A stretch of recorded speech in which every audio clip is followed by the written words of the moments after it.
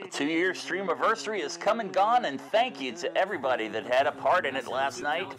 Even though uh, didn't do too well in the games we chose, Giants getting beat down by the Falcons, and Chad picks the play.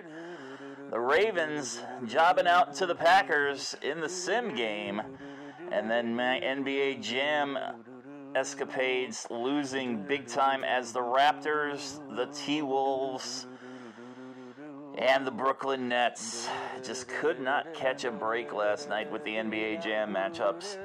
But when we came to the WWF Royal Rumble for the SNES, we had a bunch of great matches, and yeah, I played on easy mode, but we won them all. Macho Man and HBK over Ric Flair and Razor Ramon in the first one. Razor Ramon, the choice to play for the Royal Rumble, and Razor really did a good job of eliminating a lot of the tougher opponents there near the end till he finally faced off with Ted DiBiase, the million dollar man. Didn't have enough money to pay the bad guy for the victory. Ramon with a rake to the eyes over the top rope picks up the win in the Rumble. There you see everybody he eliminated. And then we had a one-on-one matchup. I played as The Undertaker. Rest in peace, Mr. Perfect with the tombstone.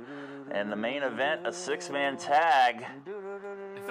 Bret Hart, Ric Flair, Lex Luger winning over Tatanka, the Million Dollar Man, and Crush.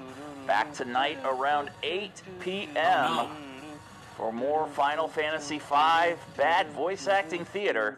Hope to see you there.